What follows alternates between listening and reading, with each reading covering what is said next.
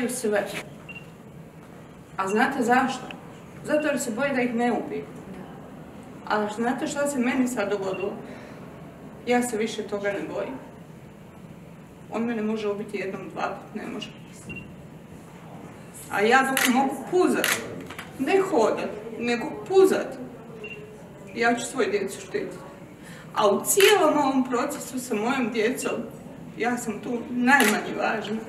Je neko gadno zabrljao. Tko je zabrljao?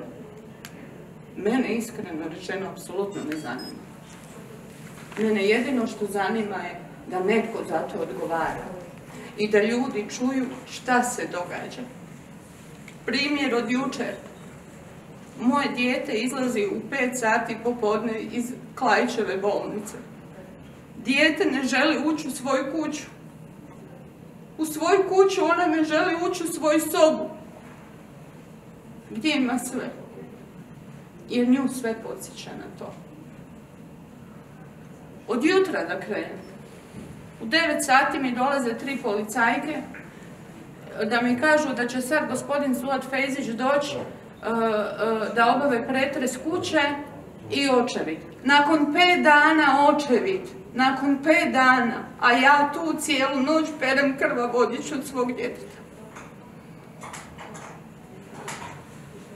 Taj isti čovjek izlazi iz auta. Bez lisica bez lisica izlazi. Stavlja ruku u džep, vadi cigaretu, zapali cigaretu, rukuje se sa svojim kolegama i smije se.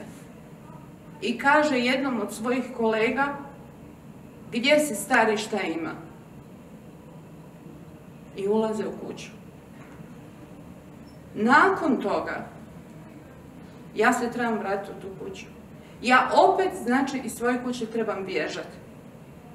Da se ne susretnem s njim.